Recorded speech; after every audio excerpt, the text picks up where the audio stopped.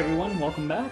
And I'm here because I need to unbox this as soon as possible so I can get to the damn game. And if you pre-ordered it at a GameStop, you'd get the wooden plaque as well and an arm sleeve that is probably child size. Wait a minute. I mean, uh, arm sleeve that is totally for adults. Look at that. God damn, it's cutting my circulation. All right, let's do this. All right, let's first take a look at the box here. We have the black version background, kind of very similar to what you see on the back of the special edition of the OLED Switch.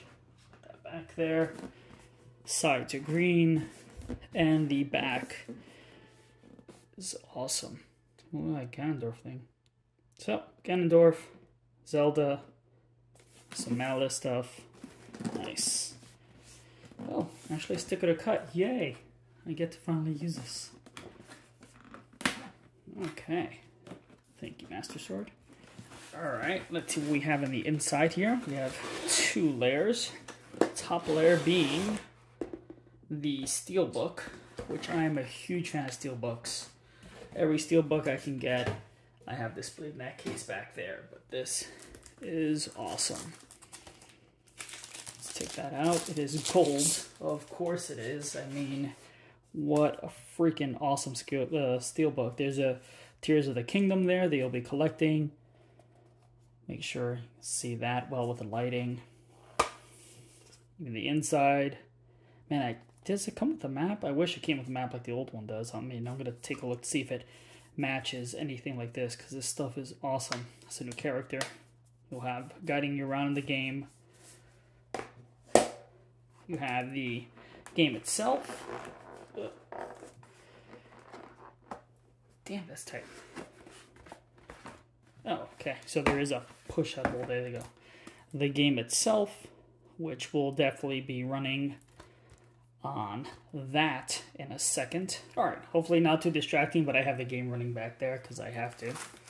Let's take a look at these pin sets. This was a thing that, if you are sensitive to this type of stuff, maybe a minor spoiler since they did only specifically reveal the first one.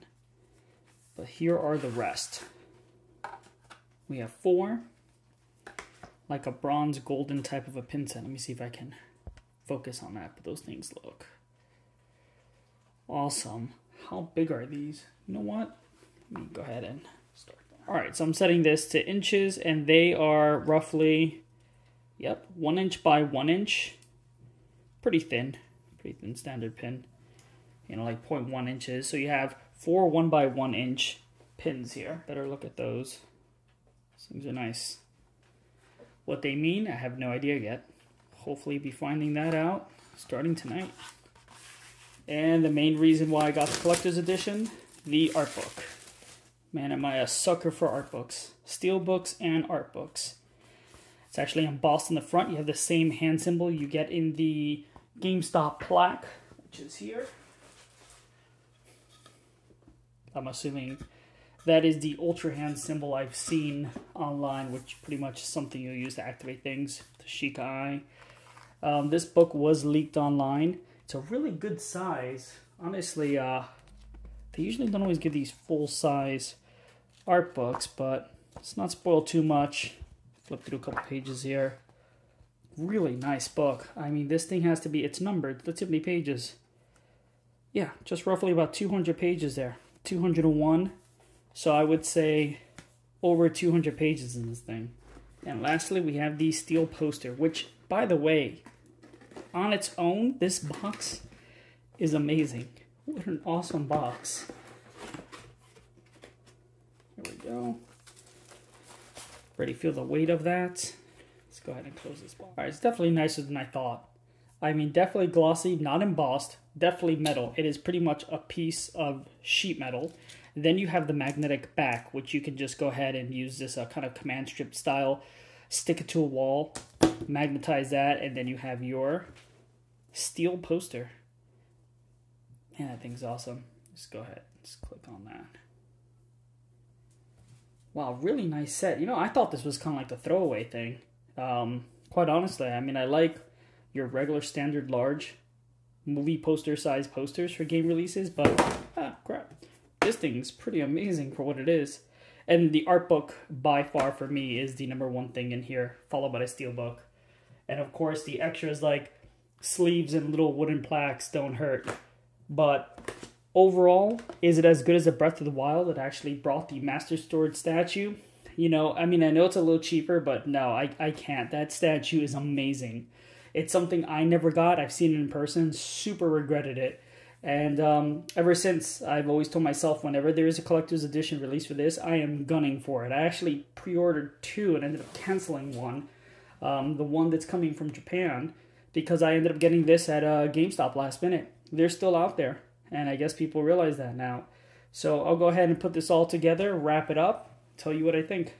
So here we have it. I mean, this is the collector's edition. Uh, honestly, the art book and the steel book was as great as I hoped it would be. The steel poster definitely surprised me. Um, what's the size of this thing? See, we have uh, 8 by 11 and a half. So your standard 8 by 11 and a half. A little larger than a sheet of paper there. Definitely better quality. I'm a sucker for maps. I love the original map that came with the Breath of the Wild special edition. I wish this was kind of more of an embossed map rather than the really awesome cover art. Don't get me wrong, amazing art, but prefer the map. The actual pins themselves, I'm sure as I play the game and I know what these symbols actually mean, I'm absolutely love these things. They have weight to it. They definitely feel good. And the um, the extras, I mean, I know that they're not part of the collector's editions, but we'll say the GameStop extras, the wooden plaque really surprised me. I didn't think it was actually going to be a nice, pretty heavy, thick piece of board. I'd rather put this up somewhere rather than that. That's going to go somewhere else. And then again, not part of this, but I have to mention it. The amiibo itself. Let me go ahead and click on that. The amiibo itself is uh, amazing. There's a focus. Look at that. I mean, this definitely has to be one of my top amiibos for a Link amiibo. Um, again, if this was something you were able to get for its price, given that it's only about, what is it, roughly $50 more than the regular edition, given the regular editions now $70, I definitely say it's worth it. The art book alone and steelbook, I mean, I'm a sucker for that. I'd absolutely pay the 50 bucks uh, extra just for that. Um, I know it's not for everyone. I want you guys to get a, you know, a hands, well, not a hands-on, but more of an unboxing and my description of the hands-on so you can make that decision before you go out there and get them because honestly, I feel like there are quite a few of these still around in stores. Um, GameStops here and uh, where I live had dozens of them. That blew my mind. So hopefully that is a quick unboxing. I'll definitely have my uh, opinions and not per se a review, but I'll have an overview of what I think of the game as soon as I start hitting that up tonight. All right, everyone, enjoy and uh, happy gaming.